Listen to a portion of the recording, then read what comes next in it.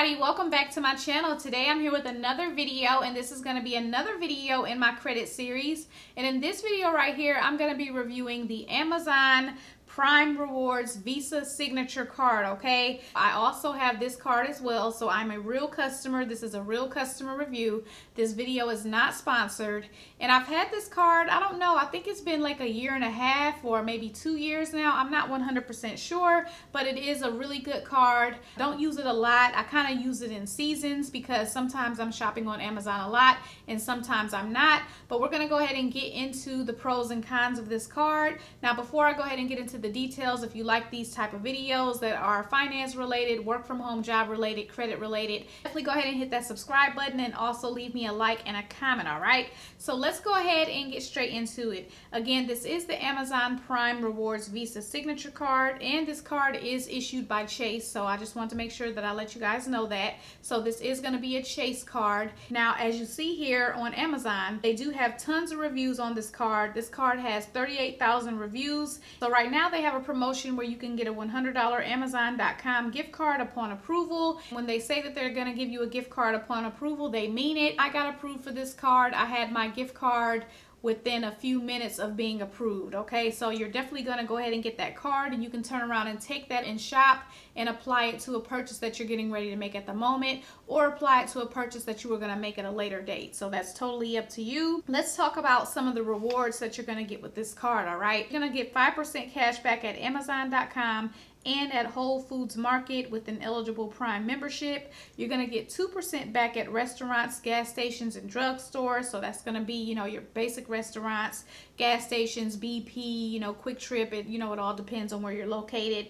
And drugstores, that's going to be your Walgreens. You know, they'll have the list of the places that you will be eligible for that cash back. They'll let you know that. And then you're going to get 1% cash back on all other purchases. So that would be, you know, if you paid a bill or something like that with this card card, that's what you'd get that 1% cash back on, all right? So this card, again, has no annual fee, and so you can redeem for millions of items at Amazon.com. You're going to see your rewards balance during checkout at Amazon.com, and there's no minimum rewards balance to redeem, all right?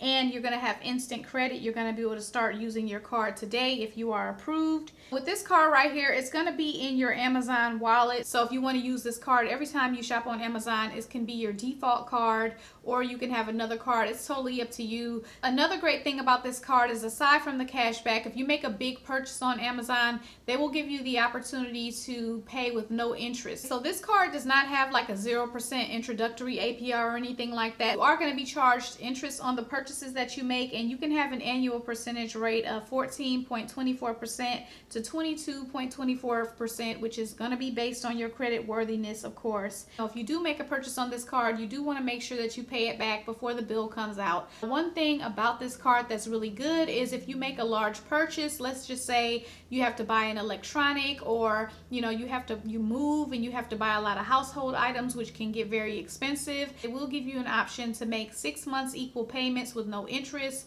or they'll give you like a 0% interest rate on a specific purchase amount for, you know, several months, whether it be six months, 12 months, or 18 months. But another pro about this card is because it is a Chase card, this card is going to show up in your online banking and you can make payments to this card. The payment is going to come out of your Chase account right away if you choose to use your Chase account and it's going to go to your available credit right away. You make a purchase to go ahead and get those rewards points then you can turn around and make a payment out of your Chase account. It'll go straight to your Amazon Prime Visa and then that way you don't even have to worry about making a payment later. You already made the payment, the money came out of your account and you're pretty much good to go, okay? Application process is pretty easy. You go ahead and apply right there on Amazon.com. And if you don't get approved right away, it doesn't necessarily mean that you're not approved at all. Sometimes they need additional information before they approve you for the card, all right? So I definitely want to go ahead and let you guys know that. But yeah, if you're someone that shops on Amazon a lot or you know you shop at Whole Foods a lot,